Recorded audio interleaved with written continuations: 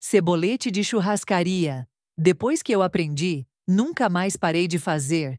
Olha só, vou começar cortando aqui a cebola. Estou usando a cebola roxa, tá bem?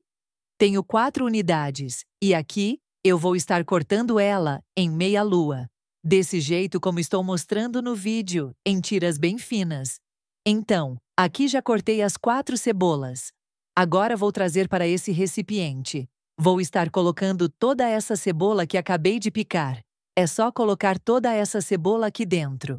Essa conserva vai ficar perfeita. Vocês vão amar. É simplesmente maravilhosa essa dica. Depois que você fizer na casa de vocês, nunca mais vai deixar de fazer essa receita em sua casa. Então, vou acrescentar água gelada até cobrir a cebola. Dessa forma, agora, vou deixar ela descansar aqui na água gelada por duas horas. Já volto com o resultado. Então, depois de passar do tempo, o que vamos fazer? Tiramos toda a acidez que tinha da cebola. E agora, vou levar para escorrer e já já volto para continuar. Então, já escorri aqui toda a cebola. Vou estar colocando tudo nessa tigela. Isso mesmo, Passe para outro recipiente. Em seguida, vou estar adicionando cheiro verde a gosto. Vou colocar também uma colher de chá de orégano. Pode ser a gosto também. Uma colher de chá de sal. Vou colocar também um belo fio de azeite. Se você não tem um azeite, pode estar utilizando o óleo também. Vai ficar delicioso. Vou colocar aqui raspinhas de limão. A quantidade também pode ser a gosto. Também vou colocar um pouco de vinagre. Vai ficar perfeito.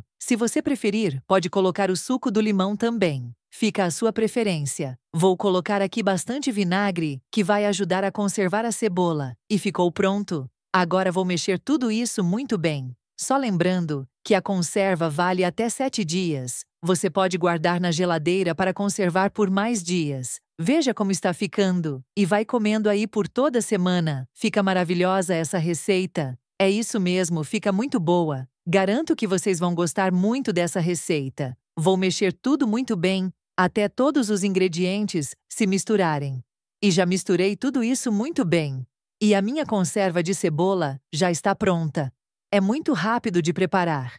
E depois que terminar, vou poder estar guardando em outro recipiente. Eu estou utilizando esse com tampa, mas você pode colocar em qualquer um de sua preferência, mas que tenha uma tampa. Agora vou pegar com o pegador e vou estar colocando aqui dentro. Veja, vou estar colocando nesse potinho, que é maravilhoso para conservar. Tem a tampinha, muito forte para conservar bem nossa receita. Se você tiver um maior e quiser fazer, é melhor ainda. Pode fazer, vai ficar maravilhosa essa receita, principalmente para aquele churrasco no final de semana. Sim, é muito bom mesmo. E essa foi a minha cebolete. Veja como ficou perfeita. Já ficou pronta para consumo. Essa receita maravilhosa de cebola nunca mais vai parar de fazer aí na casa de vocês. Perfeita. Já está pronta para ser consumida. Olha aqui. Essa conserva perfeita. Gente, muito boa mesmo. Faça na sua casa que você não vai se arrepender dessa delícia.